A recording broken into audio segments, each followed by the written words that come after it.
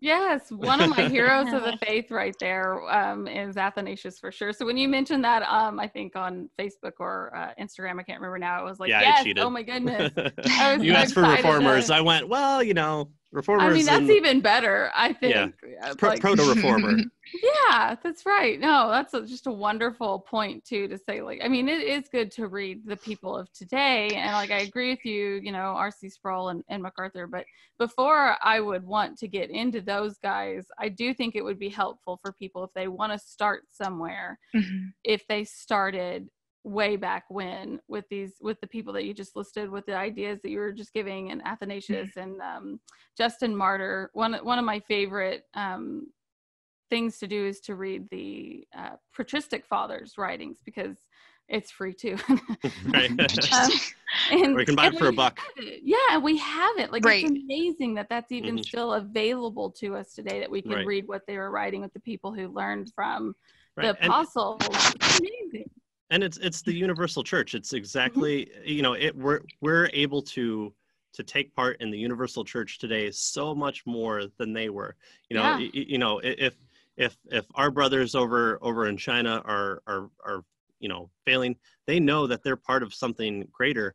Where you Mhm. know if if you're in Alexandria in Egypt at the time when you know uh, you know Carthage is burning or or you know the Roman occupation could be coming in.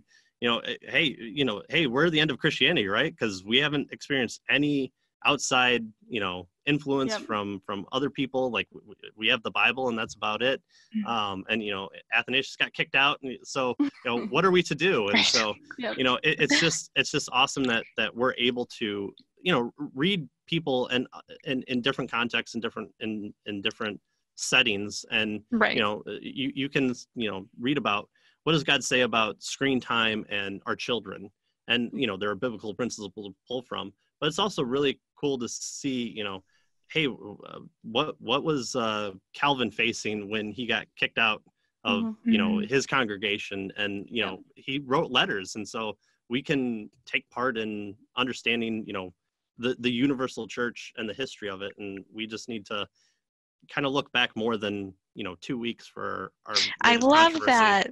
That's such a good like it's so good to be reminded of that because like people to read about the reformers and, and people in the faith that they kept the faith Mhm. unto death and we're reading from them. Yeah. And and I remember someone mentioned that before to to read about more about the Puritans and reformers and and really hear from people that kept the faith through their entire life. yeah i, I mean ju- just just with with like the reformers h- how, how do you have like stuff like stapled to your tongue how, how do you how do you Mhm. survive 14 years in in a in a dark cell because you wouldn't baptize your children you, Right. you know like I, how can i say like well you know an atheist was mean to me on, online and you know it's making me question my faith like I, I don't know how i would survive you know like Mhm. death knocking at my door with the black plague, children dying, uh, you know, Mhm. my wife possibly dying because of childbirth, but I need 17 kids in order to like continue the family. And and, and on Yeah. top of all that, say, you know, the Lord giveth and the Lord taketh away. Blessed be the name of the Lord.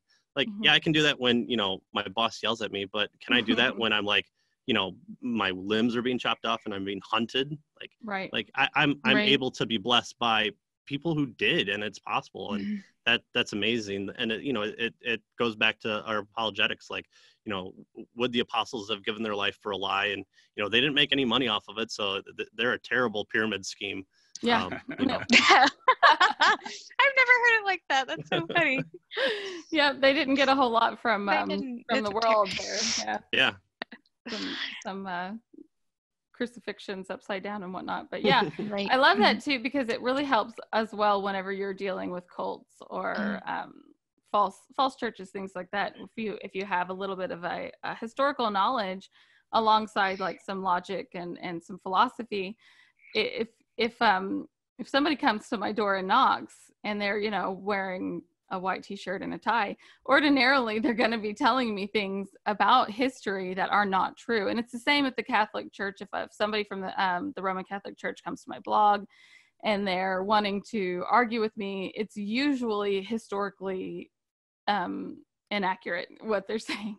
So it, it helps to have that sort of a bigger scheme and it also helps like you were saying becca with encouragement because we do have this we have this 2000 years of history of Mhm. watching god miraculously save these wretched sinners and then bring them through faithfully even in Mhm. these like you were saying like stapling the tongue